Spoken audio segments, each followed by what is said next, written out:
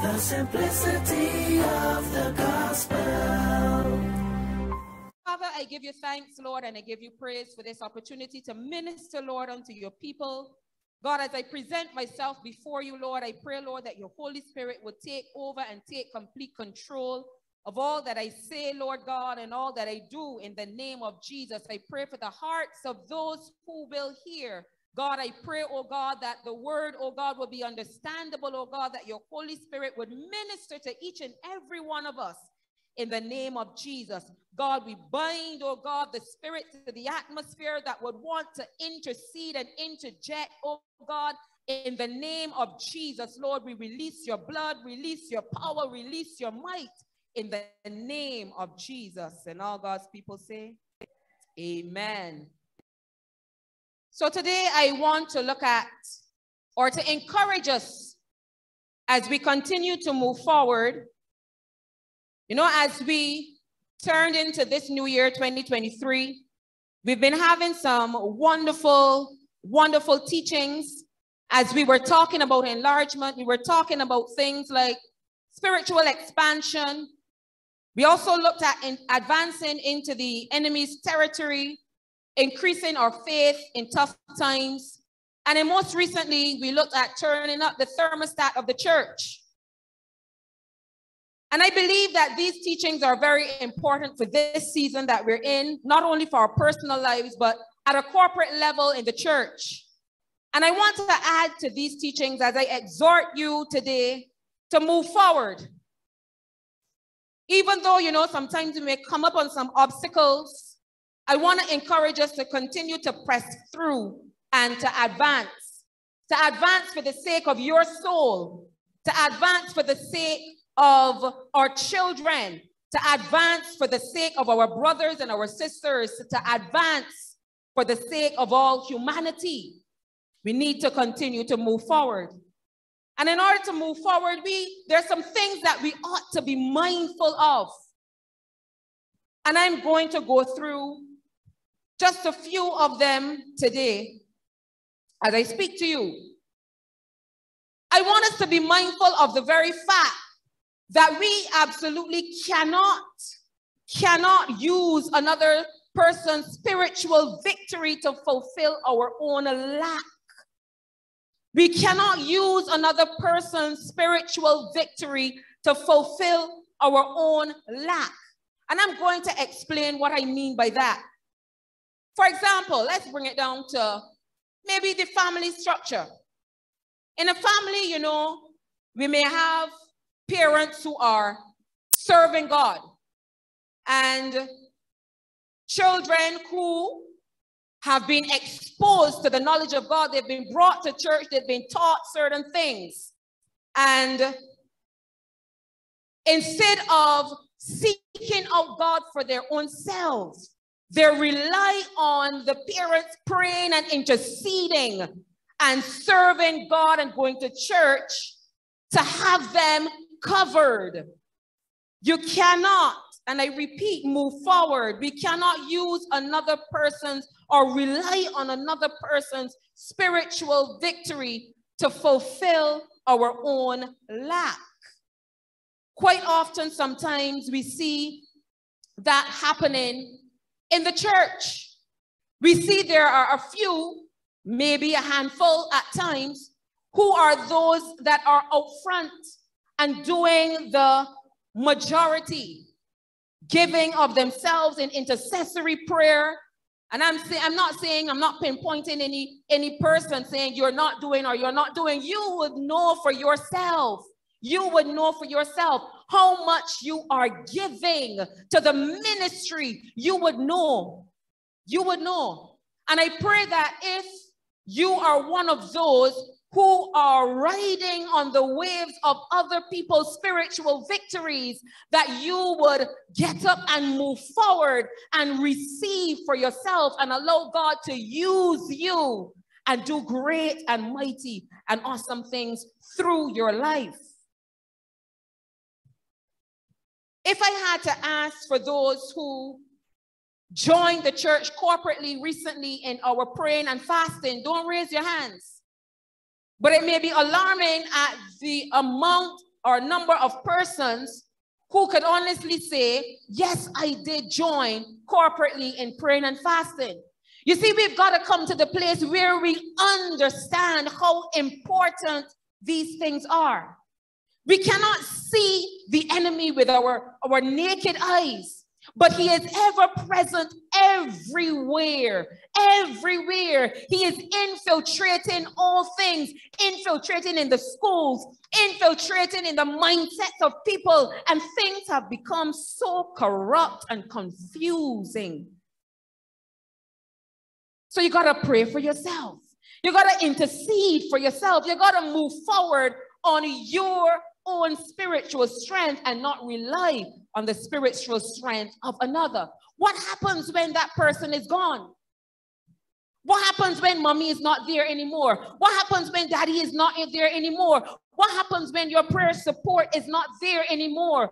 What will happen to you? Will you crumble and fall? I hope not. I hope that you are strong enough that you will be able to keep going and moving forward. And that is what we want to do. We want to move forward. We can't live on the revival of others. We must pursue our own. As we move forward in this changing world, there is one thing that must remain constant, nevertheless, and that is our pursuit after God. There are many things that change around us. One thing must remain constant, and that is our pursuit after God. We must always choose to go after Him and follow after Him. That must never change, it must never be neglected. In Judges chapter 2, verse, reading from verse 7. Judges chapter 2, reading from verse 7. It says, So the people served the Lord, and I think I'm reading from the New King James Version. So the people served the Lord all the days of Joshua and all the days of the elders who outlived Joshua, who had seen all the great works of the Lord which he had done for Israel. And verse 8 of Judges chapter 2, it says, Now Joshua, the son of Nun, the servant of the Lord, he died when he was 110 years old. And they buried him with the border of his inheritance at Timnath Heres in the mountains of Ephraim on the north side of the Mount Gaash. When all that generation had been gathered to their fathers, so everybody eventually passed on, another generation arose after them who did not know the Lord, nor the work which he had done for Israel. And it is my prayer that there never be a generation out of the Pegwell Community Church that never knew the Lord. That's my prayer.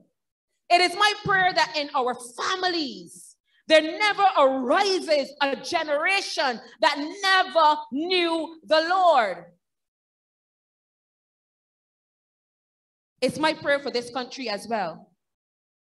As I said before, there are a lot of strange things that are happening. There has already risen a generation that knows not the Lord. When there is such strange thinking, when you don't know if you're male or female and you are persuaded that you are this thing when it is clearly you can see you are that. And then it is infiltrating everything. Which bathroom should you use? Which prison should we put you in? It is infiltrating and it has everything so corrupted. There has arisen a generation that knew not the Lord. Somebody may ask a question, but can I be in church and know not the Lord? Can I be in church every Sunday morning and night, every Thursday and know not the Lord? Yes. It can be. It's written in the scripture. In Matthew chapter 7, verse 21. Jesus said, Not everyone who says to me, Lord, Lord, shall enter the kingdom of heaven, but only him that does the will of my Father in heaven. So if we are those who are present physically every single time the doors are open, but we are not advancing and doing the will of the Lord, we have found ourselves right in that scripture. But it is my prayer that this church, in this church, there arises a generation that does that there that there never arises a generation that knows not the Lord. When you know the Lord, you do the will of the Lord. When you know him, they say, Lord, Lord. Not everybody that says, Lord, Lord, shall enter in. Verse 22 goes on to say, Many will say to me in that day, Lord, Lord, have we not prophesied in your name, cast out demons in your name, done many wonders in your name? And then Jesus will respond and say, I never knew you. Depart from me, you who practice lawlessness. How many of you want to hear that being said to you? None of us. But what are we doing to make sure that we never hear those words being spoken to us? What are we doing? Are we ensuring that we truly do know the Lord and that He could say, Yes, I knew you. Well done, thou good and faithful servant. Come and enter into this eternal bliss. These things often scare me because of where I stand positionally in the church. I cannot expect or afford to stand and labor over the people. And in the end, I hear, Depart from me. I never knew you. That is scary. So we always have to be on our P's and Q's. Always have to be on your P's and Q's. So that we know that as we move forward, we're moving forward in the direction where God wants us to go. We see in the Old Testament, the children of Israel, they practiced a lot of lawlessness. They were very lawless. They professed to serve God while still bowing down to the idols. Serving God on one side, maybe in the morning they come and they serve God, but in the, the nighttime they are burning incense to the Baals and all the other false gods. They were not putting away these idolatrous things. So they were serving two masters. And what does God say about that? No one can serve two masters. So either, either you will hate one and love the other. So in that case, which one you are hating and which one you're loving? Certainly it can't be that you're loving God. You can't love God when you're serving the devil. So right there and then, we know that God is being pushed aside. Just like he said in the book of Revelation to the church, you're, you're, I wish that you were that you were either hot or cold, but you're lukewarm. Both ends and both extremes are being mixed together. Which one are you? And because you're in the middle, I'm going to vomit you out of my mouth. Can we be in church, but still not knowing the Lord? Yes. If that is not frightening to you, then may God do a great and mighty work on your heart. May He do a quick work on your heart. These children of Israel, they were very lawless, refusing to put away these accursed things. But now it is time for us to move forward and take ownership of our spiritual lives. I mentioned some of the things that in this world that are out of control and they'll only get worse. How do our children stand up for the truth and not get caught up in the fears of all that is going on? We have to encourage them and we have to teach them the ways of the Lord. Every single time we dedicate a child to the Lord, we read the scripture in Deuteronomy, I think it's chapter 6 or chapter 4, verse 6. And we, we, we encourage them to teach the word of the Lord diligently to their children. Not only in the primitive age, stage, but it must be constant throughout their life, whether or not they want to hear it. They must know the truth. They must know the truth. I tell you, it is scary. As I, as I look at my children, it is scary when my son reaches manhood, adulthood, and he decides he wants to cast his eyes on a beautiful lady.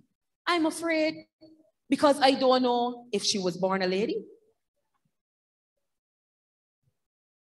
I don't know. Some of the things that I see out there in the media, please don't be, don't be naive to what's going on out there. Be in the know. Watch the news. Listen to what is going on out there. As I said, you can't thrive on somebody else's victories. Don't leave people to read the news and listen to the news for you to come and tell you what's happening in the news.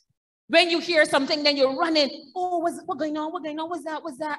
But then you tell yourself, me, man, I don't listen to the news, man. That, man. News boring. That ain't for me. But still, you want to know what's going on? Read it for yourself.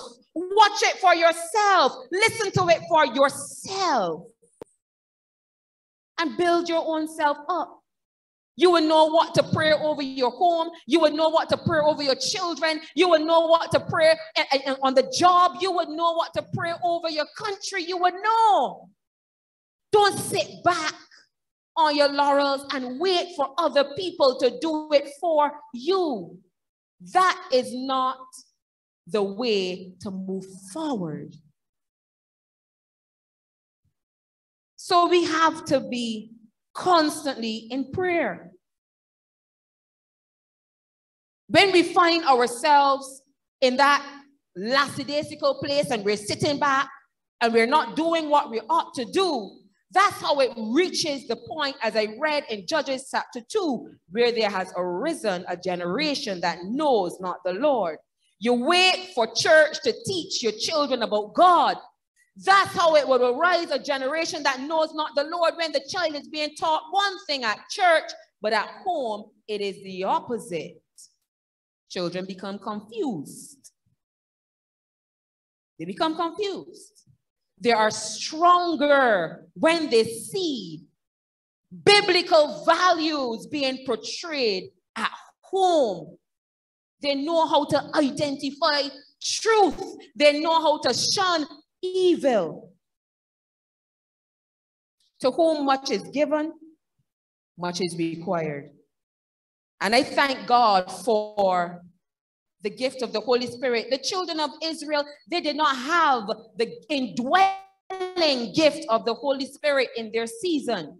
So just maybe God would have probably winked at some of their folly. Maybe. I don't know. But don't sit back and say, maybe God will wink at me too. No, to whom much is given, much is required. And you can read that in Luke chapter 12, verse 47 and verse 48.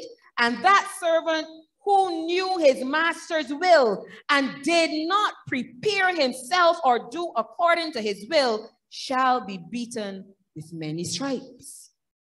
But he who did not know, yet committed things deserving of stripes, shall be beaten with a few in times of ignorance. God winked at. For everyone to whom much is given, from him much will be required. And to whom much has been committed of them, of him, they will ask the more. So I say to each and every one of us, to whom much is given, much is required.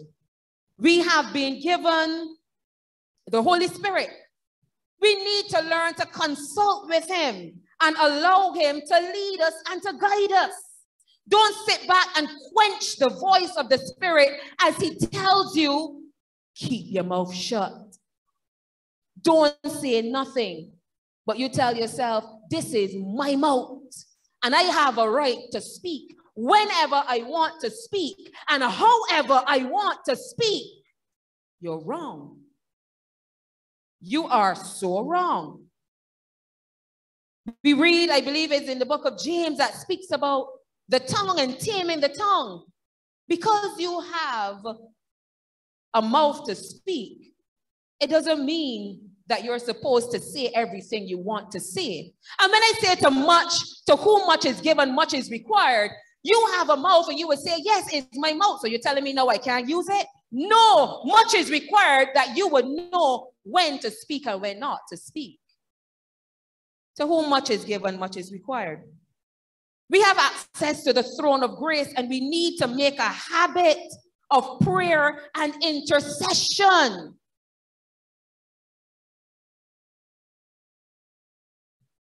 Let us not side look and neglect these things that God has given to us while we sit back and watch others proceed, while we sit back and watch others do, while we sit back and watch others accomplish, and we just bring our empty plates to partake of all that has been done.